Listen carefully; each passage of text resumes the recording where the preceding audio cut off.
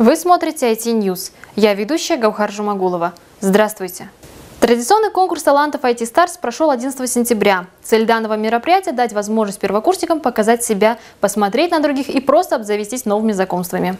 О том, чем удивили участники этого года, расскажут Дилара Толыбаева и Алина Смирнова. Итак, мы уже в зале, и, как видите, конкурс уже начался. А, на сцене уже начинают выступать участники, зрители смотрят, а, все волнуются, жюри наблюдают и хотят выбрать самые лучшие таланты для грядущих мероприятий нашего университета. В состав жюри конкурса вошли известные таланты IT-университета. Куджан Айгажаев, певцы Фарух Куртубаев и Мерике Дусипов, Ержан Каратаев, президент студенческого правительства Батырхан Тайкен, а также министр социального развития Яна Коржова. Выступление очень понравилось, молодцы ребята. В этом году у нас очень много желающих выступить, проявить себя, показать свои таланты. Ребята не только пели, танцевали и играли на гитаре, но и показали навыки актерского мастерства. Взорвали зал номера Ильяса Жолдасбаева и Шерзода Сатару. Откуда вы узнали об IT Stars и почему вообще решили поучаствовать? А, я как-то в лифте ехал и там увидел вот, вот эту вот надпись. Ну и мне захотелось показать свои таланты, на что я способен. Ну, думаю, меня оценили по достоинству. После того, как все номера были представлены, жюри огласило свое решение и выбрало 6 лучших номеров, которые мы увидим уже на ближайшем концерте 18 сентября. С вами были Дилара Тулыбаева и Алина Смирнова специально для IT News. Студенты IT-университета участвовали в конкурсе на право получения стипендий. Подробнее об этом расскажет Айдана Мукашева. 11 сентября в стенах IT-университета прошел конкурс на стипендию первого президента лидера нации. Вот уже несколько лет фонд проводит конкурс по всему Казахстану. В этом году учащимся IT-университета во второй раз выпала возможность выиграть стипендию и получить возможность получения дополнительного денежного поощрения. Фонд первого президента, стипендия. А, желающих в университете у нас а, было очень много. А, учебный совет выбрал наиболее активных. Все они имеют GPA не менее 3,70. Теперь они имеют право подавать, согласно выписке ученого совета, фонд первого президента э, на стипендию, которая будет составлять около 30 тысяч тенге в месяц. В течение года они могут получать. Что ж, первый тур прошел, и семь лучших студентов были отобраны на дальнейшее участие в конкурсе. Я впервые участвую в конкурсе на стипендию от фонда первого президента, и для меня это большая честь, что мою кандидатуру выдвинули, а, приняли на ученом совете.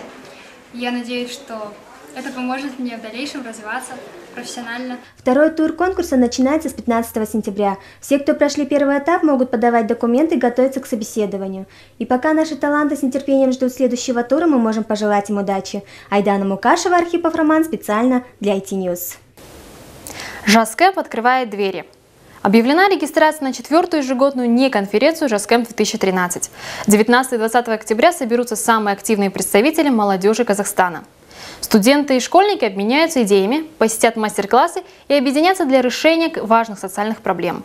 Об этом подробнее расскажет Асель Абдрахан. В 2012 году в IT-университете прошел третий по счету ЖАСКэмп. В течение двух дней представители молодежи Казахстана обсуждали проблемы наркомании, коррупции в вузах, политику и многое другое.